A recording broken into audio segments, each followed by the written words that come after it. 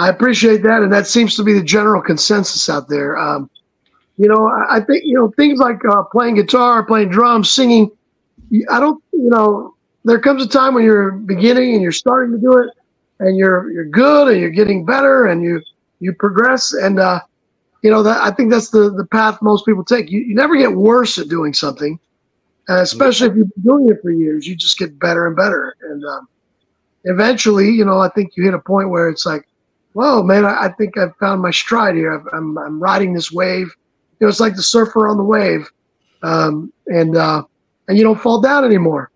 Um, and that's ba- that's kind of where I've uh, where I've landed here, um, and that's why I mean so many bands internationally and uh, nationally have, have sought me out for my vocals, even though I started it, the whole thing as a guitar player.